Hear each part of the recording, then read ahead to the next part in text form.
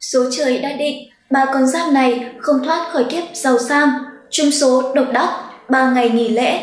Xin chào quý vị, chào mừng quý vị đã quay trở lại với kênh Phong thủy Gia Cát, kênh thông tin hữu ích chuyên chia sẻ, truyền tải các kiến thức về tử vi, phong thủy và đời sống tâm linh. Đặc biệt được hướng dẫn và tư vấn bởi thầy Gia Cát, một trong những bậc thầy về phong thủy nổi tiếng tại Việt Nam. Quý vị thân mến, mỗi khoảng thời gian trôi qua, ai cũng mong muốn cuộc sống của mình sẽ ngày càng tốt đẹp hơn. Nếu như không thể giàu có, dư giả thì ít nhất mỗi ngày đều trải qua một cuộc sống bình yên, không chút phiền muộn.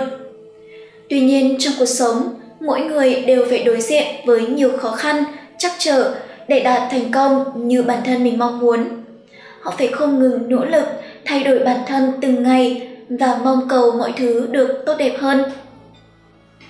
Các chuyên gia tử vi có nói, trời sinh mỗi người một số mệnh, không phải ai sinh ra cũng đều đã gặp may mắn. Có những người phải đối mặt, đánh đổi và hy sinh rất nhiều, nhưng vẫn không thể khấm khá lên được, cuộc sống vẫn sậm chân tại chỗ.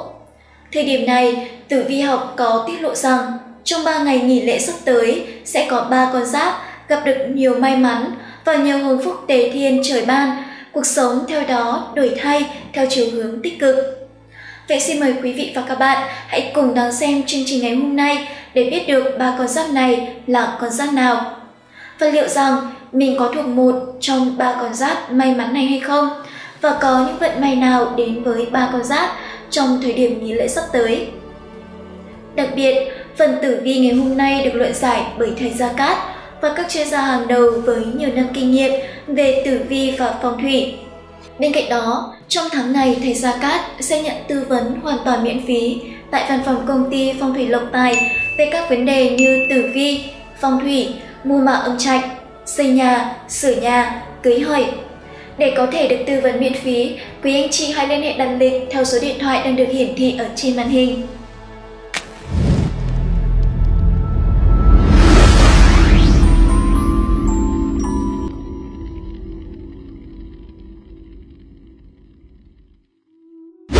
Là tuổi dậu.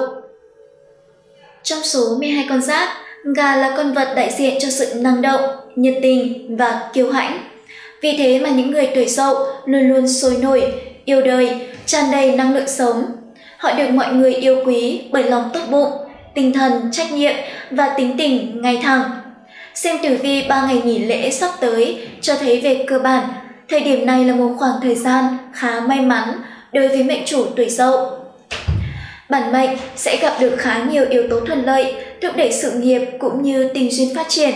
Quan trọng là bản mệnh phải có đủ quyết tâm để nắm bắt và lòng kiên nhẫn đến thực hiện mọi kế hoạch, đặt ra có đến cùng hay không. Nhị hợp chiếu mệnh Bản mệnh có thể lập được nhiều kế hoạch công việc khá phù hợp đối với thực tế và khả năng của bản thân mình. Điều quan trọng là bản mệnh phải bắt tay và thực hiện bước đầu tiên ngay lập tức – bởi nếu cứ chần chừ, do dự thì lòng nhiệt huyết của bản mệnh sẽ nhanh chóng bị giảm bớt và bản mệnh sẽ cảm thấy chán nản, muốn bỏ dở giữa chừng. Hãy luôn tự nhắc nhở bản thân, một khi đã làm việc gì thì phải làm đến nơi, đến chốn. Như vậy bản mệnh mới thấy được kết quả và mới nhận được sự đánh giá cao của cấp trên. Đồng nghiệp Về phương diện kinh tế trong thời gian này cũng tương đối ổn định, các công việc cố định vẫn đem lại cho quý gia chủ nguồn mức lương đủ để duy trì cuộc sống. Nếu bản mệnh biết đồng tâm, hiệp lực đối với mọi người trong các công việc chung, hoàn thành tốt các dự án lớn, thì bản mệnh không thiếu cơ hội được nhận thêm các khoản tiền thưởng. Những mệnh chủ tuổi dậu đang làm ăn kinh doanh cũng có thể hợp tác, ký kết hợp đồng vào thời điểm này. Đối tác có thể là người đồng chí hướng với bản mệnh và đôi bên có thể cùng hợp sức để thực hiện nhiều kế hoạch làm ăn lớn hơn. Ngoài ra trong thời điểm này còn có mộc dục đem lại tác động tích cực cho tinh thần của bản mệnh. Bản mệnh biết chăm lo hơn cho vẻ bề ngoài của mình. Chính vì vậy, dù là nam mệnh hay nữ mệnh, bản mệnh cũng sẽ trở nên quyến rũ hơn hẳn trong mắt mọi người xung quanh. Tuổi dậu còn độc thân sẽ tìm được rất nhiều cơ hội để đến với người mà mình thầm mến. Tuy nhiên, nếu đã lập gia đình, bản mệnh cần giữ khoảng cách thích hợp đối với người khác, đừng để những lời đồn thổi gây ảnh hưởng đến hạnh phúc lứa đôi. Vậy nên, để mọi việc được phát triển một cách hanh thông và thuận lợi, thì bản mệnh hãy mang theo bên mình vật phẩm phong thủy, vòng tam hợp quý nhân, tỵ, dậu, sửu. Với năng lực tam hợp khí của vòng sẽ giúp bản mệnh đạt thông năng lượng ngưng tụ, thiên, địa, nhân, từ đó hóa giải những thị phi, mâu thuẫn, tăng cường các mối quan hệ xung quanh của bản mệnh. Đồng thời, vòng sẽ giúp bản mệnh tăng may mắn, chiêu tài lộc, cát lành, đặc biệt là chiêu mời quý nhân giúp đỡ bản mệnh phát triển trong mọi khía cạnh trong thời gian sắp tới. Thứ hai là tuổi mùi. Tuổi mùi đại diện cho những người sống giàu tình cảm, nhân hậu, tốt bụng, luôn sẵn sàng giúp đỡ mọi người xung quanh. Đặc biệt, họ rất thông minh, sắc sảo, tài trí hơn người, có con mắt nhìn xa, trông rộng và khả năng phân tích nhạy bén. Tử vi học có cho thấy kỳ nghỉ lễ lớn sắp tới là một khoảng thời gian đầy triển vọng đối với những người tuổi mùi. Nhiều phương diện cuộc sống của bản mệnh có bước cải thiện lớn lao và đó chắc chắn là thành quả xứng đáng đối với công sức của bản mệnh bỏ ra từ trước đến nay. Nguyệt lệnh lâm dưỡng đại diện cho sự phát triển, nhờ vậy mà công việc của bản mệnh cũng sẽ có những thành tích đáng mừng.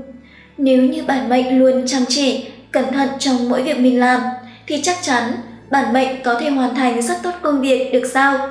Cho dù đó có là công việc bản mệnh được tiếp xúc lần đầu. Hãy tin tưởng vào bản thân mình và sẵn sàng chấp nhận những thách thức. Đó có thể chính là thời cơ giúp bản mệnh vươn lên một vị trí cao hơn trong tương lai. Khả năng giao tiếp giỏi cũng sẽ giúp ích cho bản mệnh rất nhiều trong quá trình xây dựng các mối quan hệ. Thậm chí, có người còn may mắn gặp gỡ với quý nhân. May mắn hơn nữa, tháng này có thiên đức cát tinh nâng đỡ, nhiều mệnh chủ có thể chạm tay vào cơ hội thăng quan, tiến chức hiếm có được. Đó có thể là thành quả cho công sức lao động của bản mệnh suốt bấy lâu nay, mà cũng có thể là một cơ duyên đến với bản mệnh rất bất ngờ. Phương diện tài lộc trong thời gian này của tuổi mùi cũng vô cùng khởi sắc. Nhờ sự cần cù, chăm chỉ, chịu khó đã giúp tuổi mùi kiếm được một nguồn lợi không nhỏ. Với những tuổi mùi đang làm công ăn lương thì việc tập trung vào sự nghiệp của mình, hoàn thành trọng trách mà cấp trên giao phó thì sẽ được nhận khoản tiền thưởng nóng, thậm chí còn được tăng lương. Còn với những người tuổi mùi đang làm ăn kinh doanh thì thời điểm này mệnh chủ đã dần tự tin hơn đối với các quyết định của mình, không còn chần chừ, do dự hay quá phụ thuộc vào người nào đó nữa, nên không bị bỏ lỡ các thời cơ làm giàu. Thiên đức phù trợ, hứa hẹn sẽ khiến cho túi tiền của mệnh chủ càng rủng rỉnh hơn. Đáng tiếc, khi sự nghiệp và tiền bạc có bước phát triển tích cực, thì tình duyên lại có dấu hiệu chững lại. Thời điểm này, các cặp đôi thường tỏ ra lạnh lùng, hờ hững với nhau, có lẽ vì đôi bên đều quá bận rộn với sự nghiệp của riêng mình.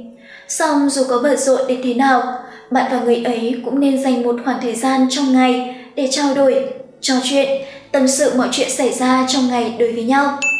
Chuyện đó sẽ giúp hai bạn ngày một thấu hiểu và gắn kết với nhau hơn.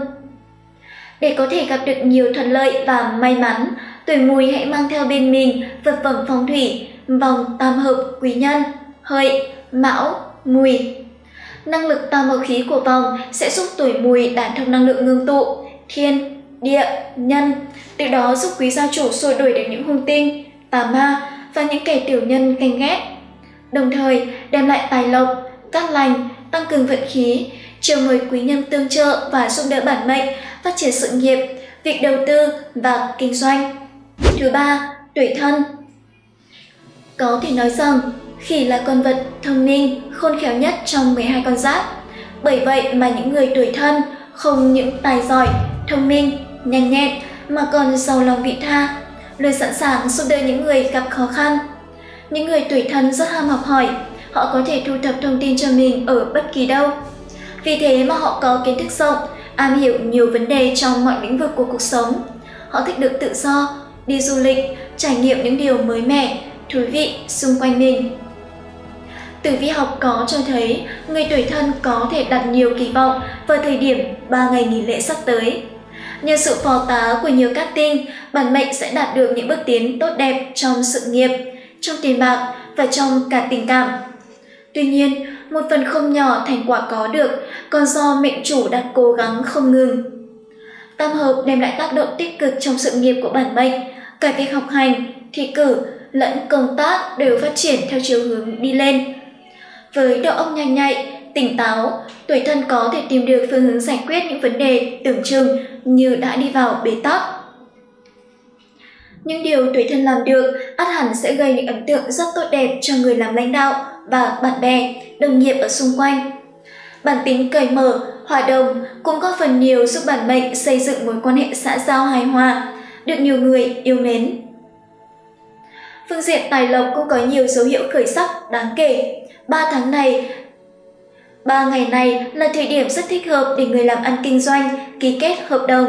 Ngoài ra, bản mệnh cũng có thể tìm được những định hướng mới để phát huy thế mạnh của mình, kiếm tiền lãi lời đổ vào túi một cách nhanh chóng. Nguyên lệnh trình sinh còn cho thấy bản mệnh sẽ gây thiện cảm đối với mọi người xung quanh, có thể tạo dựng mối quan hệ tốt đẹp đối với khách hàng, đối tác, khiến việc làm ăn phát triển thuận lợi.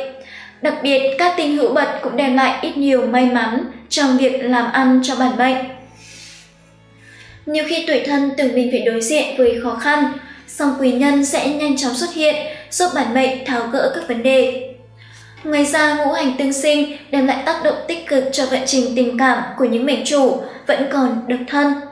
Các mệnh chủ có thể được giới thiệu cho những đối tượng khá triển vọng. Chỉ cần mở lòng mình và cho đôi bên cơ hội, hai người có thể nhanh chóng đi tới quyết định đến với nhau. Bầu không khí trong nhà cũng khá vui vẻ và đầm ấm, bởi những mệnh chủ đã lập gia đình biết tôn trọng và yêu thương nửa kia, cũng như các thành viên khác, bởi gia đình là động lực để bản mệnh cố gắng mỗi ngày. Để kích hoạt vận khí cát lành, thúc đẩy công việc hành thông, sự nghiệp tiến triển tốt, tuổi thân cần sử dụng pháp khí phong thủy, nhà Phật là bát bảo tâm kinh. Pháp khí sẽ giúp xua đuổi những hung tinh và vận hạn luôn rình rập ở xung quanh. Từ đó pháp khí sẽ tăng cường vận khí, tăng may mắn, chiêu tài lộc cho bản mệnh.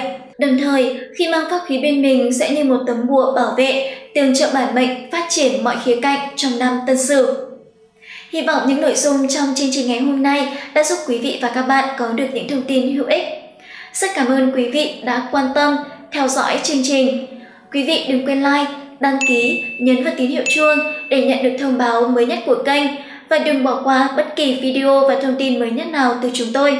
Còn bây giờ, xin chào và hẹn gặp lại quý vị trong những chương trình tiếp theo.